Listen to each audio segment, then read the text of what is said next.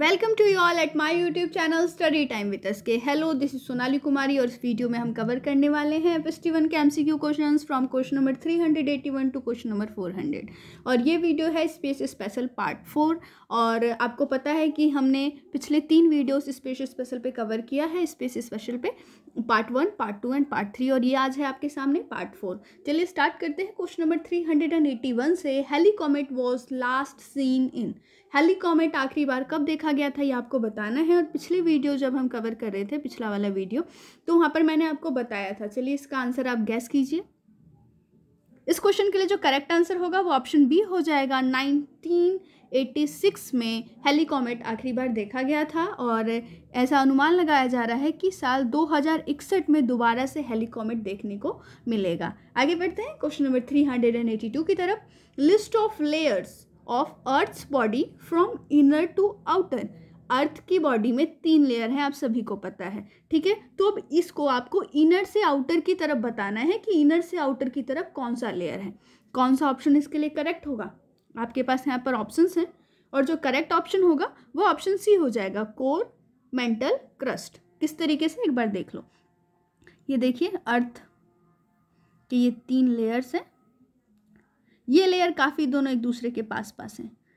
ये है कोर ये है मेंटल और ये है आपका क्रस्ट ठीक है? इस तरीके से आप याद कीजिएगा। अगर आउटर टू इनर कहेगा तो होगा क्रस्ट मेंटल कोर ठीक है? चलिए, आगे बढ़ते हैं। Question number three hundred eighty three. Is the crust of earth uniform क्या अर्थ का क्रस्ट जो है, वो यूनिफॉर्म है? आपके पास यहाँ पर ऑप्शंस हैं।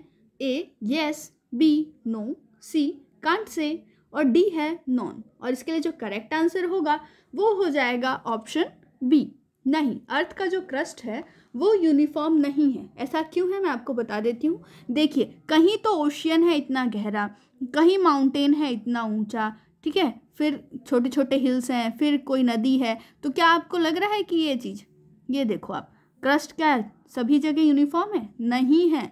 इसीलिए इसका जो आंसर है वो नो हो जाएगा, ऑप्शन बी करेक्ट।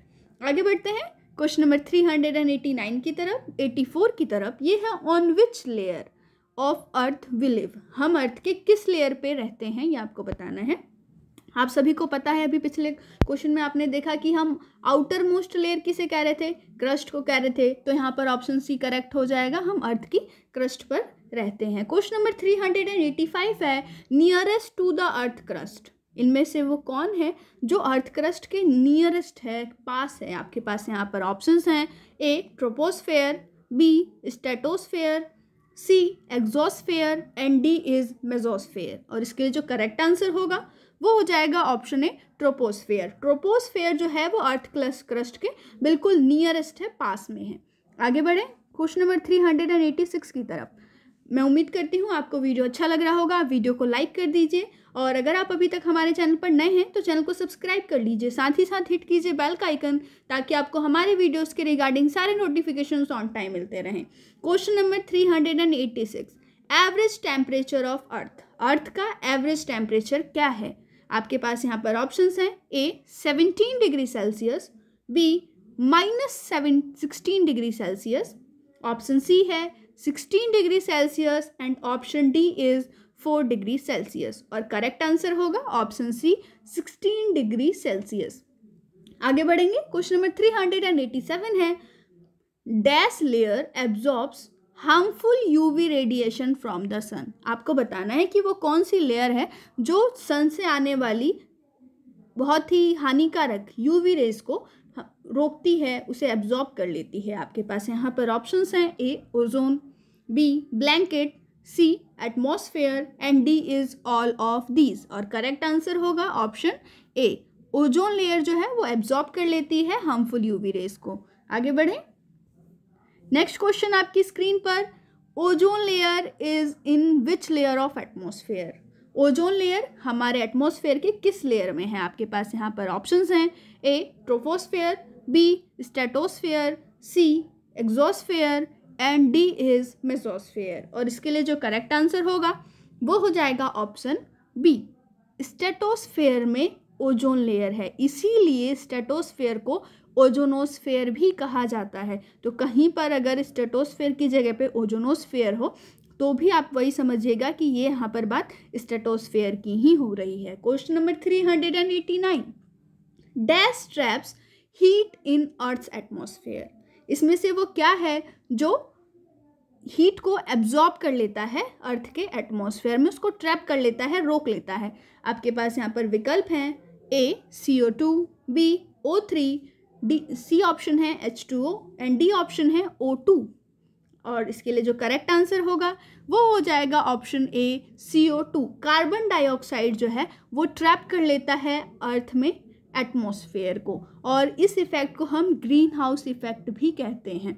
अगर ऐसा नहीं होता, अगर सी टू हमारे एटमॉस्फेयर में नहीं होता तो अर्थ का जो सर्फ जो टेम्परेचर है इस वक्त, वो काफ़ी लो हो जाता और इतना लो हो जाता कि इसके चारों तरफ़ सिर्फ़ बर्फ़ ही जमा रहता।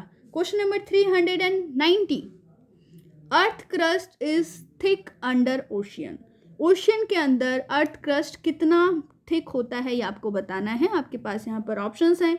A ten kilometre B sixty five kilometre twenty five kilometre, and D is thirty kilometre. Correct answer होगा option A, ten kilometre. Oceans में जो अर्थ क्रस्ट की थिकनेस है, वो टेन किलोमीटर है। वहीं पर अगर आप कॉन्टिनेंट्स की बात कर लें तो कॉन्टिनेंट्स में जो अर्थ की थिकनेस है अर्थ क्रस्ट की, वो हो जाती है sixty five kilometre.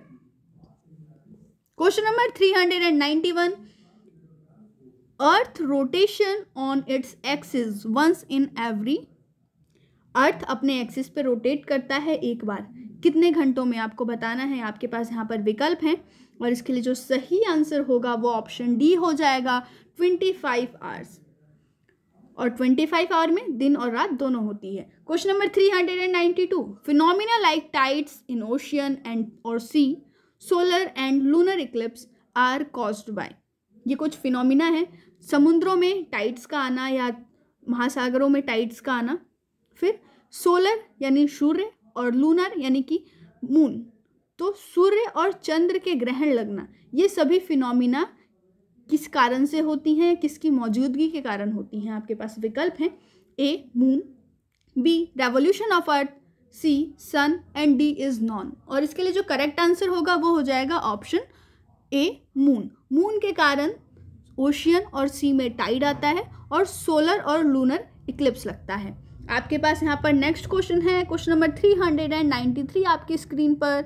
और ये है the regular seasons on the earth earth पे आपको सभी को पता है कि छः ऋतुएँ आती हैं हमारे भारत में तो सीजन्स चेंज होता रहता है। तो आपको बताना है कि सीज़न क्यों चेंज होता है और रेगुलर बेसिस पे होता है। आपके पास यहाँ पर अब ऑप्शंस हैं tilted axis of rotation of earth option B है सन रोटेशन ऑप्शन सी है normal axis of rotation of earth and option D is none. और इसके लिए जो करेक्ट आंसर होगा, वो हो जाएगा ऑप्शन ए। जो हमारा अर्थ है, वो अपने एक्सिस पे टिल्ट है, हल्का सा झुका हुआ है और इसी कारण से हमारे धरती पर सीजन्स रेगुलरली चेंज होते हैं। इस चीज़ को आप याद रखिएगा कि tilted axis of rotation of earth is the reason that's why regular seasons occur on our earth आगे बात करें question number three hundred and ninety four की inclination of the axis of rotation of earth अभी हम बात कर रहे थे कि कितना टिल्ट एक टिल्टेड है, थोड़ा सा झुका हुआ है। अब यहाँ पर यही बात हो रही है कि कितना झुका हुआ है। आपके पास यहाँ पर ऑप्शंस दिया हुआ है। थ्री डिग्री ऑप्शन बी है नाइन्टी एट डिग्री सी है twenty three degree and D है नॉन। और इसके लिए जो करेक्ट आंसर होगा आपकी बुक के अकॉर्डिंग, वो ट्वेंटी थ्री डिग्री होगा। लेकिन असल में अगर हम रियल बात करें तो जो इंक्लाइनेशन है, वो ये है। Twenty three and half degree angle से जो हमारा अर्थ है, वो इंक्लाइंड है अपने एक्सिस पे। अच्छा थ्री डिग्री फिर किसका है? थ्री डिग्री की बात करें तो थ्री डिग्री इंक्लाइनेशन है जुपिटर का, और वहीं पर नाइन्टी एट डिग्री इंक्लाइनेशन है यूरेनस का। तो ये तीनों ही बहुत ही इंपॉर्टेंट है। आपको पता होना चाहिए कि अर्थ का इंक्लाइनेशन क्या है जुपिटर का क्या है और यूरेनस का क्या है। तीनों चीज़ें मैंने आपको यहाँ पर बता दी हैं। आगे बढ़ेंगे। Question number three hundred and ninety five की ओर। ये क्वेश्चन है moon phases occur due to its moon की फेसिस क्यों अकर होती हैं, ये आपको बताना है। यहाँ पर इस क्वेश्चन में कहा गया है कि जो मून के फेसेस हैं, वो किस कारण से होते हैं, ये आपको बताना है। आपके पास यहाँ पर ऑप्शंस हैं। A revolution around earth B orbit C satellite and D is gravity. और इसके लिए जो करेक्ट आंसर होगा, वो हो जाएगा ऑप्शन है रेवोल्यूशन अराउंड अर्थ। जो मून है, वो अर्थ के अराउंड अराउंड रिवॉल्व करता है, जिसके कारण हमें उसकी फेसेस दिखाई देती हैं। एक और चीज़ की जो हम ह्यूमन बींग्स हैं, वो मैक्सिमम थर्टीन डेज़ तक अभी तक में मून पर रह करके आया है एक व्यक्ति, जो तेरह दिनों तक मून पर रह करके आया है। ये मैक्सिमम टाइम है जो अर्थ, मून पर किसी ह्यूमन बींग ने बिताया है। आगे बात करें अगर मून के रोटेशन की, उसके रिवॉल्यूशन की तो twenty seven point three three days में मून अपने ऑर्बिट पर एक रिवॉल्यूशन लगाता है हमारे अर्थ के। ठीक है ना? एक बार चक्कर लगा लेता है हमारे अर्थ के और वो टाइम कितना लगता है उसे? Twenty seven point three three days ठीक है? चलिए question number three hundred and ninety six moon revolves in dash orbit moon किस तरीके के ऑर्बिट पे रिवॉल्व करता है? यहाँ पर आपके पास ऑप्शंस हैं और इसके लिए जो करेक्ट आंसर होगा, वो हो जाएगा ऑप्शन डी, इलिप्टिकल। मून भी इलिप्टिकल ऑर्बिट पे ही रिवॉल्व करता है। एक और चीज़ कि हमारे चैनल के कम्युनिटी सेक्शन में आजकल हम पोल कराते हैं, आपको कुछ क्वेश्चंस देते हैं, जिसका आपको आंसर देना होता है पोल के थ्रू। आप भी उसमें पार्टिसिपेट कीजिए ताकि आपको जो आपके पीछे हमने क्वेश्चंस पढ़ाए उसका आपका एक बार रिविजन होता रहे। Question number three hundred and ninety seven है यहाँ पर। The moon surface has flat dark expanses called moon की सरफेस पे फ्लैट डार्क एक्सपेंसेस हैं, उन्हें क्या कहा जाता है? आपके पास यहाँ पर ऑप्शंस हैं। A mountain B valley C maria and D is craters और इसके लिए जो करेक्ट आंसर होगा, वो ऑप्शन सी हो जाएगा, मारिया। आगे बढ़ेंगे। Question number three hundred ninety eight की तरफ़। ये है it has dash distributed craters moon पे जो क्रेट्स हैं, वो किस तरीके से डिस्ट्रीब्यूटेड हैं, ये आपको बताना है। आपके पास ऑप्शंस हैं यहाँ पर। A uniform B non uniformly C linearly and D is non linear और इसके लिए जो करेक्ट आंसर होगा, वो हो जाएगा ऑप्शन ए यूनिफॉर्मली जो अर्थ के पे क्रैक मून पे जो क्रेट्स हैं, वो यूनिफॉर्मली डिस्ट्रीब्यूटेड हैं। Question number three hundred and ninety nine the temperature of moon towards sun sun की तरफ़ जो मून है, जो जो मून का फेस है, उसका टेम्परेचर कितना है ये आपको बताना है। आपके पास यहाँ पर ऑप्शंस हैं और करेक्ट ऑप्शन हो जाएगा। Option A one hundred thirty degree Celsius moon का टेम्परेचर है जब उसका फेस सन की तरफ़ होता है। आपको पता है कि ये मून है, समझ लीजिए। और ये है आपका सन ठीक है? मैं सिर्फ़ समझा रही हूँ, थोड़ा सा ये साइज़ के बारे में मत सोचिएगा। बस आप समझ लीजिए। तो ये साइड जो है, ये वाली साइड ये सन की तरफ़ फेस करके है तो इस वाले साइड की जो टेम्परेचर होगी, वो वन थर्टी डिग्री सेल्सियस होगी, ठीक है? अब इस साइड को हम कहते हैं नाइट साइड क्योंकि ये वाली साइड डे साइड हो गई, और ये वाली साइड हो गई नाइट साइड अब यहाँ पर वो लाइट नहीं है जो सन की लाइट आ रही थी, वो लाइट नहीं है। तो अब इस साइड का जो टेम्परेचर होगा नाइट साइड का जो टेम्परेचर होगा, वो होगा minus one hundred seventy degree Celsius ठीक है? तो जो मून में डे साइड का टेम्परेचर है, वो होता है वन थर्टी डिग्री सेल्सियस वहीं पर नाइट साइड का जो टेम्परेचर है, वो minus one hundred seventy degree Celsius है।